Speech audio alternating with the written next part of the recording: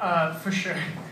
When the best in training when I'm in Detroit and I do a long program run through and do the first two first quad. Most of the time, the second quad and then the rest of the program unfolds quite well. Um, but a lot of the time, it's it's about having patience and um, not getting too far ahead of myself because uh, I know I can do a quad. I know that we. I'm sure we all know we can do quads. Of course, we do it in practice all the time, but it's it's it's, like being in the moment. It's not being too far ahead where you're like rushing to do it because you're so excited to do it, but then not being too passive either.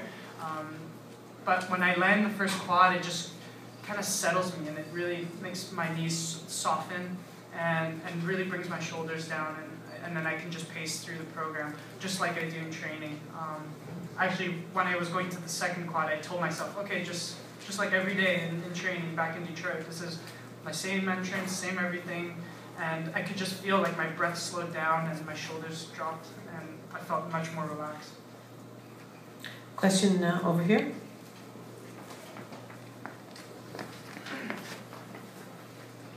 Bonjour, félicitations. Euh, J'aimerais avoir votre, euh, votre, évaluation de votre performance et pour un début de saison olympique, qu'est-ce que vous en pensez? Ouais. Surtout la performance.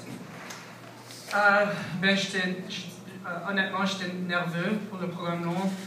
Euh, je devais attendre 35 minutes après euh, l'échauffement de 6 minutes. Alors, j'étais nerveux, j'avais des, pensées négatives un peu qui commençaient à, entrer dans ma tête. Alors, je devais rester très positif en, en, me disant moi-même que je, dois, je suis excité, j'ai hâte de, de, patiner et de surtout me rappeler de pendant l'entraînement, je dois juste répéter ce que je fais dans l'entraînement, ce qui est de faire un élément à la fois.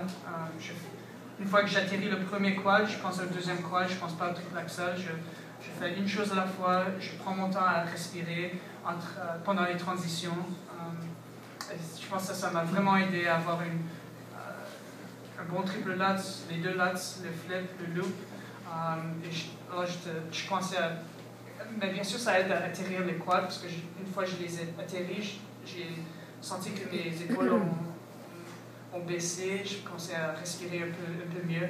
Euh, je commençais à sourire un peu plus avec l'audience. Alors ça a vraiment aidé.